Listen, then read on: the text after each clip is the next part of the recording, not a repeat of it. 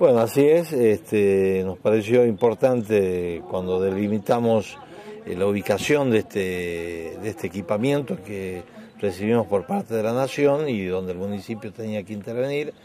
este, bueno, ubicarlo en este sector que concentra y relaciona sectores comunitarios con necesidades básicas insatisfechas muy grandes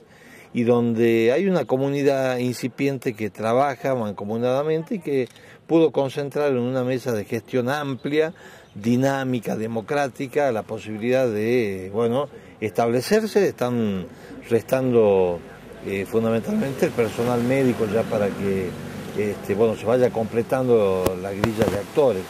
Pero bueno, fundamentalmente acá este, están desplegando a través de un convenio que hizo el, municipio con todo lo que trae el doctor Albino, su fundación, este, la posibilidad de, una, de un lugar casi permanente para concentrar, difundir, este, informar y también este, eh, potenciar todo aquello que sea concientización en quienes desarrollan tareas paralelas, que son muchos eh, comedores o muchos centros integradores en nuestra ciudad, la posibilidad de aprovechar esta presencia tan notable, tan importante a nivel del país, a nivel internacional,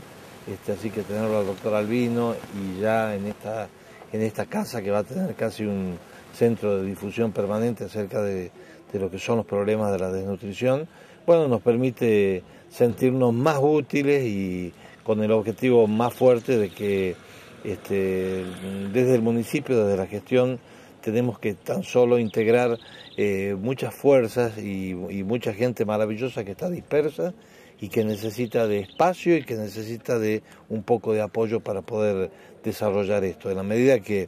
esto se convierta en la posibilidad de que los niños eh, eh, de nuestra ciudad, a través de todas las redes que hay para la alimentación, lo hagan de una manera más correcta, con un seguimiento más directo, yo creo que vamos a dar un gran paso. Como dice el doctor Albino, el primer año de vida es tan importante para crear cerebros de futuro que este, tenemos que tomar conciencia eh, en todos los niveles.